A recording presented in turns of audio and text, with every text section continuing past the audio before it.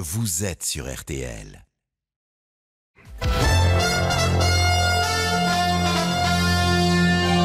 RTL Petit Matin, Christophe Paco.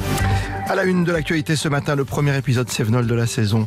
Et ces images fortes de pluies diluviennes qui sont abattues hier sur le massif des Cévennes.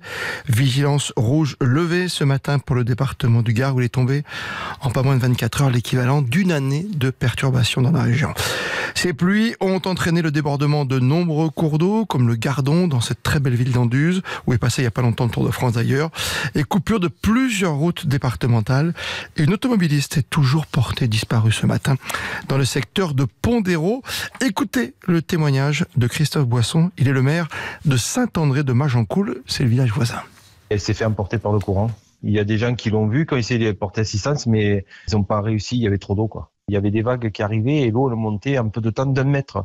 Et elle est montée sur la route départementale en, en, rien de temps. Ils étaient trois, il y avait un papa et ses deux enfants et ils ont vu la dame partir et, là ils en sont malades. Ils ont essayé de la suivre pour voir si la voiture pouvait aller sur un côté de la rivière. Après il y a eu un pont, la voiture est passée par-dessus le pont et euh, elle s'est engouffrée dans l'eau, ils l'ont plus vu après. Un kilomètre plus bas, on a trouvé un morceau du bouclier de la voiture avec la plaque d'immatriculation, mais elle n'a pas retrouvé la voiture. La personne, c'est elle travaillait à l'hôpital du Vigan. C'est une personne qui, euh, qui faisait des soins à domicile.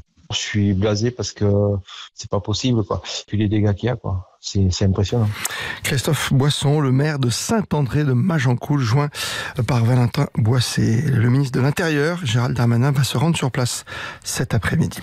75 députés de la majorité lancent un appel à se faire vacciner massivement contre la grippe.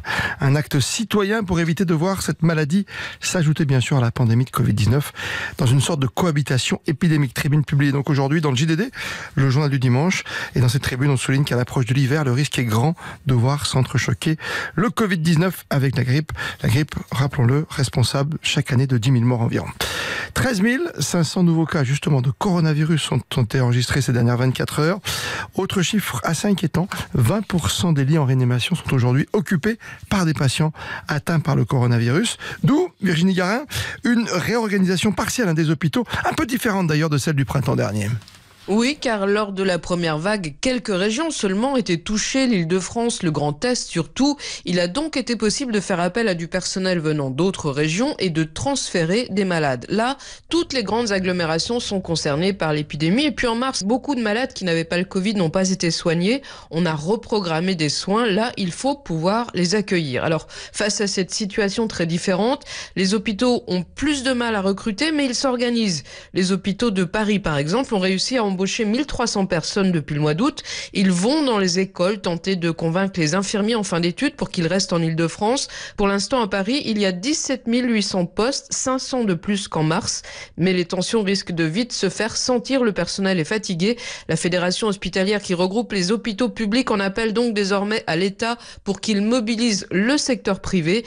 Les cliniques s'étaient plaintes lors de la première vague de ne pas avoir été suffisamment sollicitées. Virginie Garin pour Artel. La popularité d'Emmanuel Macron progresse légèrement en ce mois de septembre. Elle passe de 38% maintenant d'opinion positive sur son action contre 36% en, août selon un sondage IFOP pour le JDD.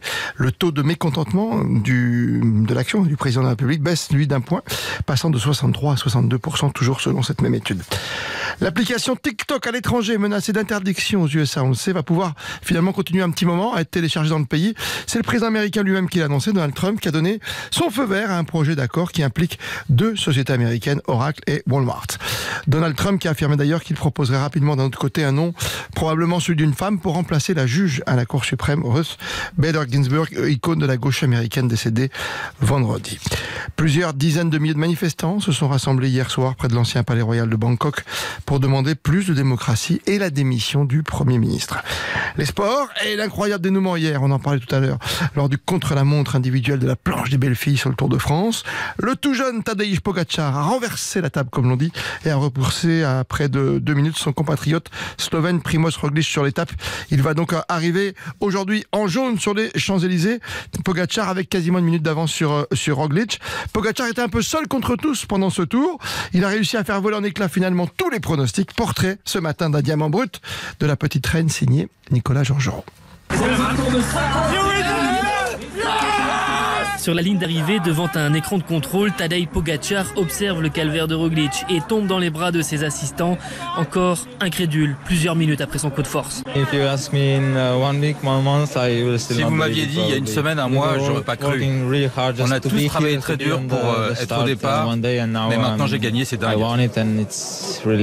Pogacar, coureur fougueux, insatiable, couvé depuis ses 11 ans, troisième de la Vuelta l'an passé, vainqueur du Tour cette année à sa première participation comme copie Anctil, Merckx, Hino par exemple avant lui, phénomène de précocité qui impressionne le patron de la grande boucle, Christian Prudhomme. Il faut remonter à Henri Cornel, vainqueur de la deuxième édition du Tour en 1904, pour trouver plus jeune. C'est un, un jeune coureur qui aura 22 ans lundi, qui bat un coureur de 30 ans. C'est un coureur sans équipe qui bat un coureur avec une armada qui a écrasé le Tour. On n'en demandait pas tant, mais bon, on savoure l'instant. Non pas contre Roglic, mais le fait qu'il y ait ce changement, voilà. Son visage poupon a déjà marqué les esprits, la présence aussi parmi les dirigeants de son équipe d'un directeur sportif mêlé à un scandale de dopage en 2008. Pogacar devra faire avec. On passera d'ailleurs un petit coup de fil à Nicolas Georgerot euh, qui va nous rejoindre aujourd'hui évidemment sur la route du Tour. On lui passera un petit coup de fil avant 6h du matin parce que nous on est réveillés donc il n'y a pas de raison que Nicolas soit pas avec nous ce matin pour reparler du Tour de France. Édition spéciale, émission spéciale aussi ce soir sur Artel dès 16h. On vous fera vivre la course en direct et l'arrivée bien sûr.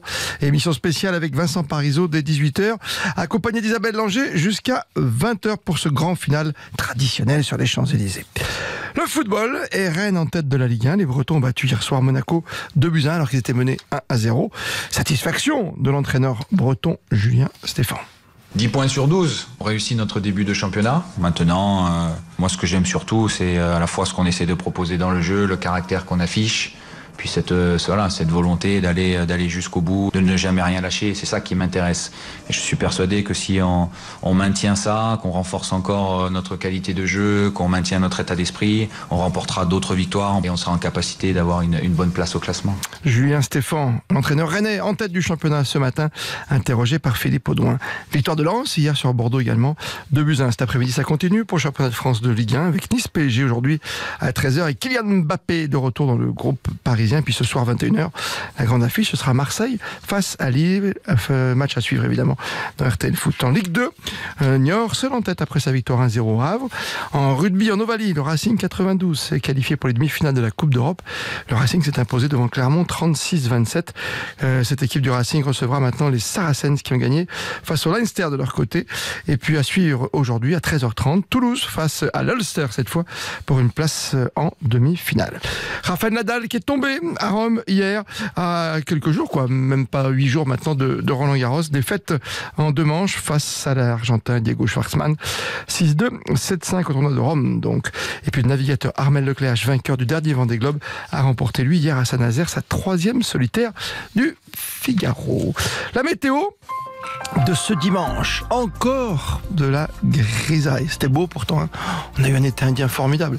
Ciel couvert, orageux sur les trois quarts sud-est du pays, avec des pluies parfois soutenues, notamment dans cette région. Et le ciel sera en revanche bien plus lumineux au nord de la Seine, cette fois avec de belles éclaircies entrecoupées de rares averses.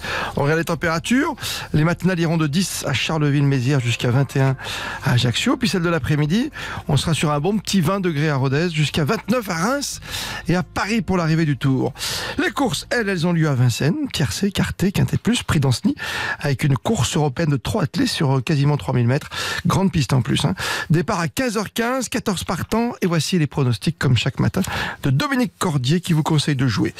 Le 3, le 12, le 6, le 8, le 14, le 4, l'As et le 7. Dernière minute pour Dominique Cordier, le 6, Solzio Zedel. Bonne matinée à toutes et à tous. Il est 5h09. Dans un instant, votre éphéméride de ce dimanche 20 septembre. Et puis après, on parlera du maillot à poids, cher à Michel-Édouard Leclerc, nouveau partenaire, qui nous parlera de cet attachement au Tour de France.